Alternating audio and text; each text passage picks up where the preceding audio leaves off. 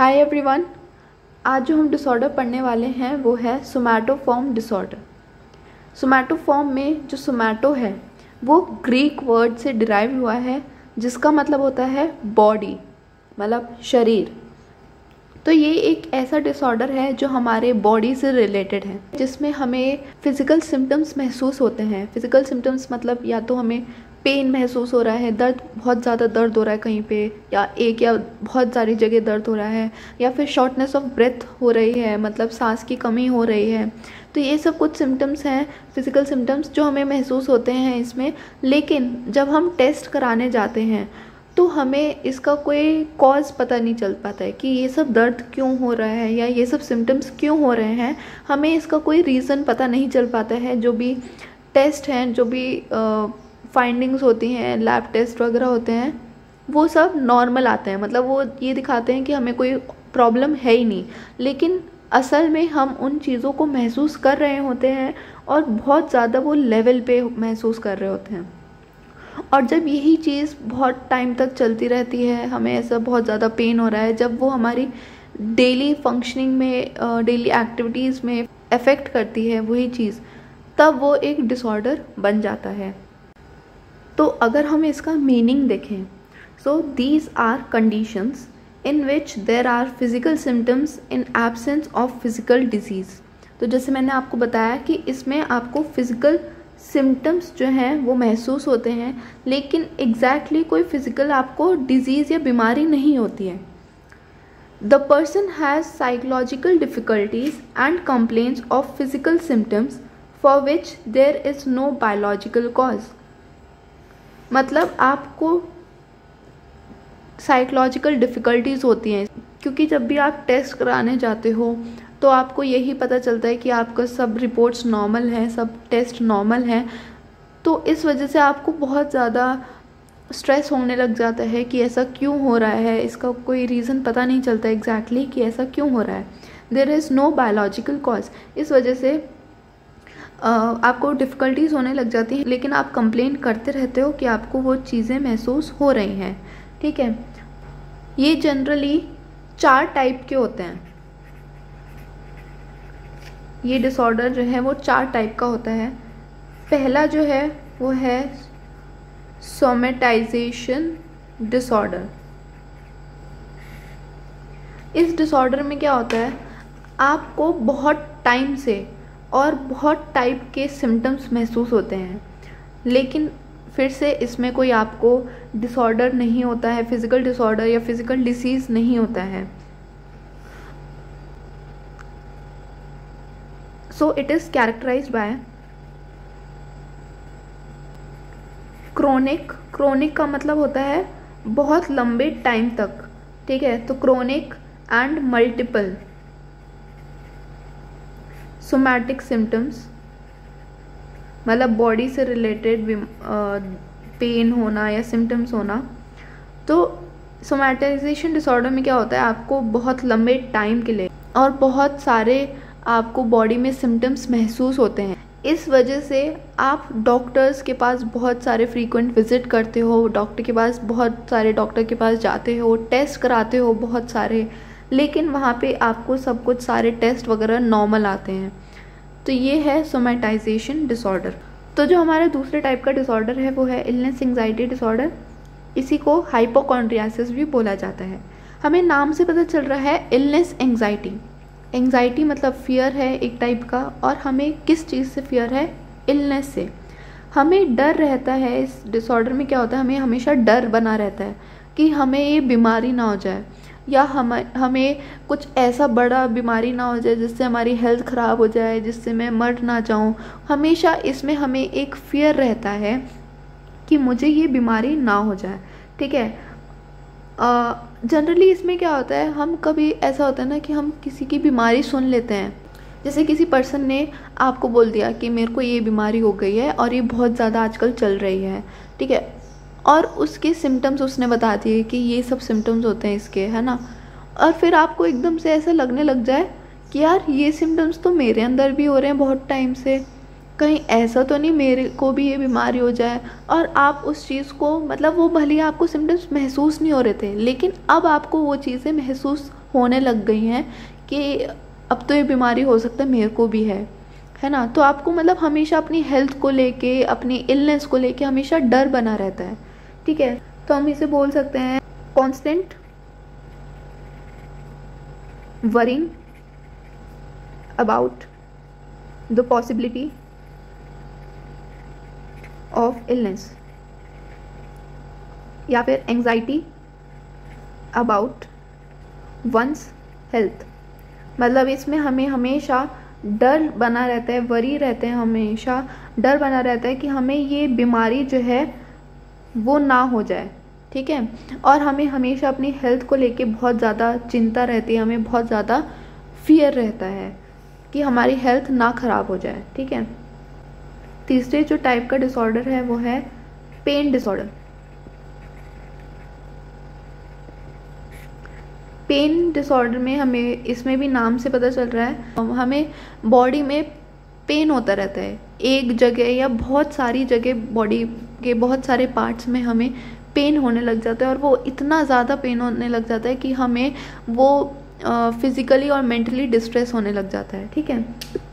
So it is characterise by recurring pain pain in one or more parts of the body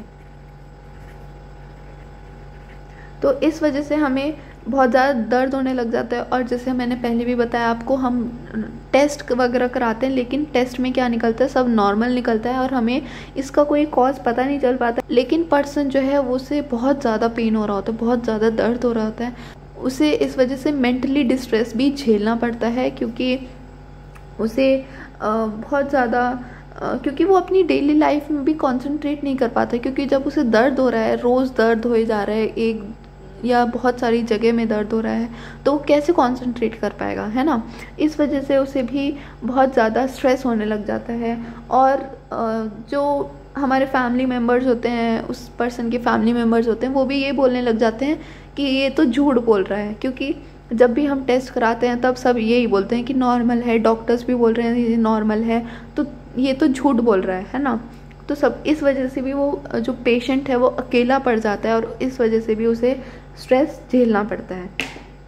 चौथा जो type है disorder का वो है कन्वर्जन डिसऑर्डर इस डिसऑर्डर में क्या होता है पेशेंट को ऐसा लगने लग जाता है कि मेरे किसी बॉडी का पार्ट जो है वो काम नहीं कर रहा है। ठीक है? मतलब कि जैसे हमें दिखाई देना बंद हो गया है सुनाई देना बंद हो गया है या फिर हमारे हाथ पैर काम नहीं कर रहे हैं हमें पैरालिसिस हो गया है, ये सब चीज़ें जो हैं इस डिसऑर्डर में उस पेशेंट को महसूस होती हैं, उस पर्सन को महसूस होती हैं। So he reports loss of part या फिर all of some body functions such as deafness blindness मतलब यहाँ पे वो पेशेंट बोलता है पर्सन बोलता है कि मेरा जो बॉडी है मतलब उस पेश पर्सन की जो बॉडी का कोई पार्ट है या फिर उसमें से बहुत सारे पार्ट जो हैं वो काम करने बंद हो जाते हैं। जैसे कि उसे वो, जैसे कि ब्लाइंडनेस हो गया डेफनेस हो गया, उसे दिखाई देना बंद हो जाता है काम का। ये जनरली कब होता है? ये तब होता है जब हम किसी एक स्ट्रेसफुल सिचुएशन से गुजर रहे हों, या फिर जैसे हमने पोस्ट ट्रोमेटिक स्ट्रेस डिसऑर्डर पढ़ा था, तब किसी ट्रोमेटिक इवेंट के बाद हमें ऐसा महसूस होने लग जाता है कि हम किसी, हमारा कोई बॉडी पार्ट है, वो काम नहीं कर रहा है। ये सब चीज़ें जनरली तभी होती हैं जब हम किसी ऐसे ट्रोमेटिक इवेंट को एक्सपीरियंस करते हैं, ठीक है? तो ये सब हो गए टाइप्स अब हम देखेंगे कि इसमें साइन या फिर सिम्टम्स क्या क्या होते हैं, ठीक है? वैसे तो जो भी हमने अभी तक पढ़ा है कि एंग्जाइटी रहती है या फिर हमें, ऐसा लगता है हमें पेन हो रहा है। ये सब सिम्टम्स ही हैं, लेकिन फिर भी एक बार हम पढ़ लेते हैं कि सिम्टम्स क्या होते हैं।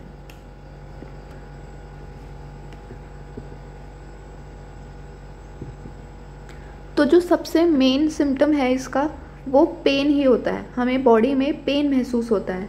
दर्द महसूस होने लग जाता है एक जगह या फिर बहुत सारी जगह, ठीक है? दूसरा है कि हमें शॉर्टनेस ऑफ़ ब्रेथ हो जाता है, सांस की कमी हो जाती है।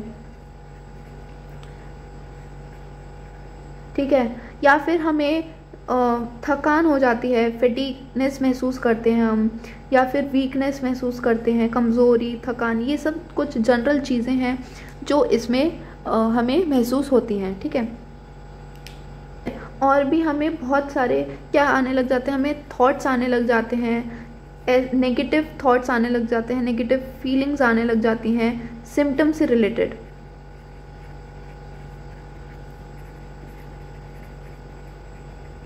हम जो हमें सिम्टम्स हो रहे होते हैं जैसे दर्द है कहीं पे या आ, कुछ भी है या कोई भी फ़िज़िकल सिम्टम है उसके बारे में हम बहुत ज़्यादा सोचने लग जाते हैं बहुत ज़्यादा उस चीज़ को फील करने लग जाते हैं बहुत ज़्यादा नेगेटिव सोचने लग जाते हैं जिससे हमारा जो स्ट्रेस है वो भी बढ़ जाता है। ठीक है? आ, फिर है हमें कांस्टेंट फियर रहता है। अबाउट आर हेल्थ हमें हमेशा अपनी हेल्थ का बहुत ज़्यादा डर लगने लग जाता है कि हमारी हेल्थ ख़राब ना हो जाए हमारी हेल्थ हमें हेल्थ के बारे में हमेशा मतलब बहुत ज़्यादा डर लगने लग जाता है ठीक है?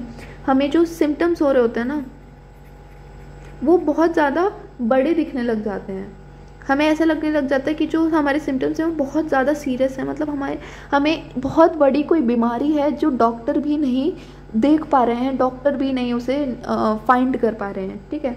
और हम आ, क्या कराने लग जाते हैं हम? अपने चेकअप्स कराने लग जाते हैं।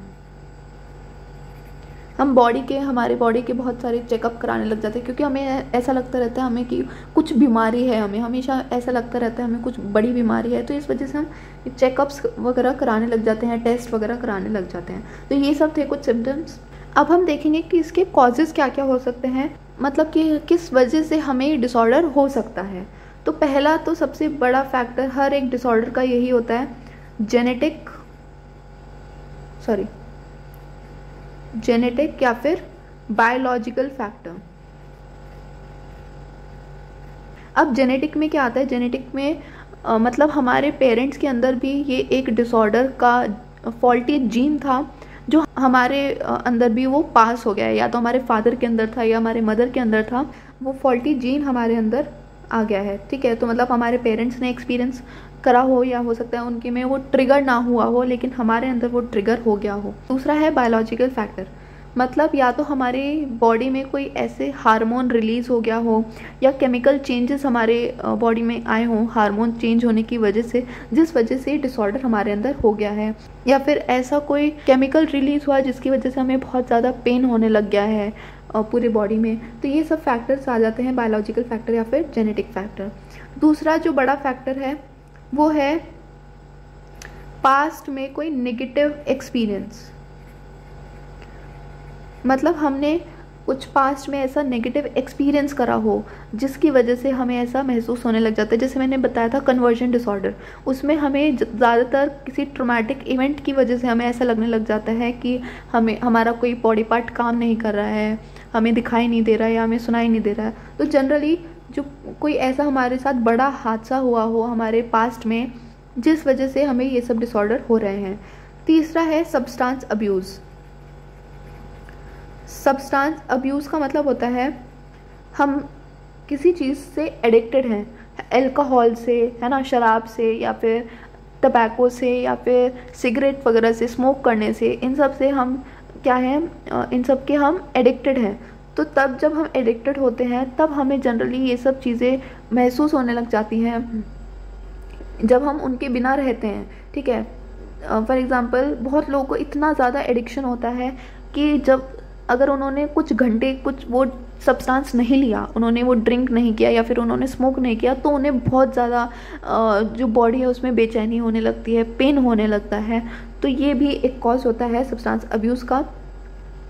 तो जनरली जो भी लोग जिनको एडिक्शन होता है इन सब चीज़ों का, उन, उनमें भी ये डिसऑर्डर पाया जाता है। ठीक है तो ये सब कुछ कॉजेज़ थे इसके सोमैटोफॉर्म डिसऑर्डर्स के। अब नेक्स्ट है ट्रीटमेंट या फिर थेरेपीज़ कि हम इस डिसऑर्डर को किस तरह से ठीक कर सकते हैं किस तरह से कंट्रोल कर सकते हैं। तो ट्रीटमेंट जो हम देते हैं वो इस वजह से देते हैं कि जो आ, हमारा डिसऑर्डर है वो कंट्रोल हो सके जो भी सिम्टम्स हैं इसमें फ़िज़िकल सिम्टम्स जो हैं वो कंट्रोल हो सके या फिर जो पर्सन ये सोचता है कि मेरे को उसको हमेशा अपनी हेल्थ को लेके फियर रहता है डर रहता है उस चीज़ को हम इसमें कंट्रोल करते हैं। तो पहला जो है वो है कॉग्नेटिव बिहेवियर थेरेपी ये बहुत ही फ़ेमस कह सकते हैं या फिर बहुत ज़्यादा यूज़ होने वाली थेरेपी है. बहुत सारे डिसऑर्डर्स में ये थेरेपी यूज़ होती है. सीबीटी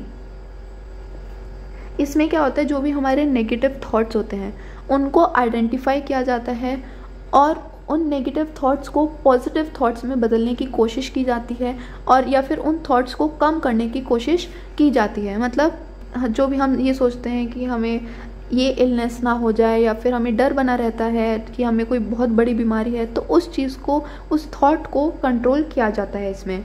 दूसरा है, दूसरा जो ट्रीटमेंट है वो है मेडिकेशन एंटी डिप्रेसेंट मेडिकेशन। ये जो मेडिकेशन होती है, इसे हमें इसलिए दिया जाता है जिससे हमारे जो सिम्टम्स हैं, जो फ़िज़िकल सिम्टम्स हम महसूस कर रहे हैं पेन है, ये सब चीज़ें हमारे दर्द वगैरह कम हो सकें, ठीक है? हालाँकि सिर्फ़ मेडिकेशन ठीक नहीं कर देती सब कुछ, लेकिन मेडिकेशन इसलिए दिया जाती है जिससे हमारे जो भी फ़िज़िकल सिम्टम्स हैं, वो कम हो सकें और उनको ये कम करने में हेल्प करती है मेडिकेशन तो ये सब कुछ ट्रीटमेंट थे। तो यहाँ पे हमारा डिसऑर्डर यहीं पे ख़त्म होता है। तो हमने ये पढ़ा कि डिसऑर्डर ये डिसऑर्डर क्या होता है, इसके टाइप्स क्या क्या होते हैं, इसके कॉजेज़ क्या क्या होते हैं, इसके सिम्टम क्या होते हैं, और लास्ट में हमने पढ़ा कि इसके ट्रीटमेंट कैसे होता है। तो अगर आपको वीडियो पसंद आई हो तो लाइक ज़रूर करना। और अगर आपको कुछ भी डाउट है इससे रिलेटेड तो आप कमेंट सेक्शन में लिख सकते हो। I will try to solve it out और सब्सक्राइब ज़रूर करना चैनल को और बेल आइकन को भी ज़रूर प्रेस करना जिससे आपको नोटिफिकेशंस मिलती रहे। So that's it for today thank you for watching